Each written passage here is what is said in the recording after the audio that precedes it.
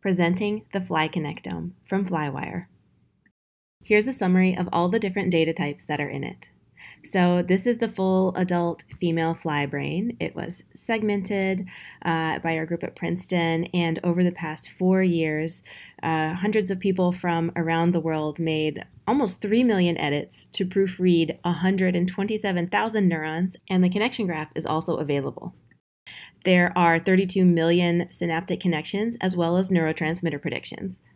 Flywire also contains over 100,000 community annotations, as well as an additional over 700,000 curated annotations from Schlegel et al. And here are a few examples of those.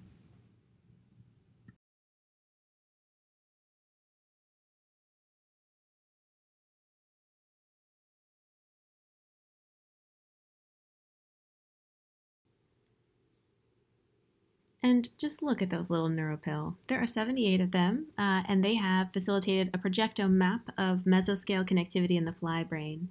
This animation is missing the ocelli and the lamina, but they're there for analysis. And here are a few example projections uh, out and in and among neuropil.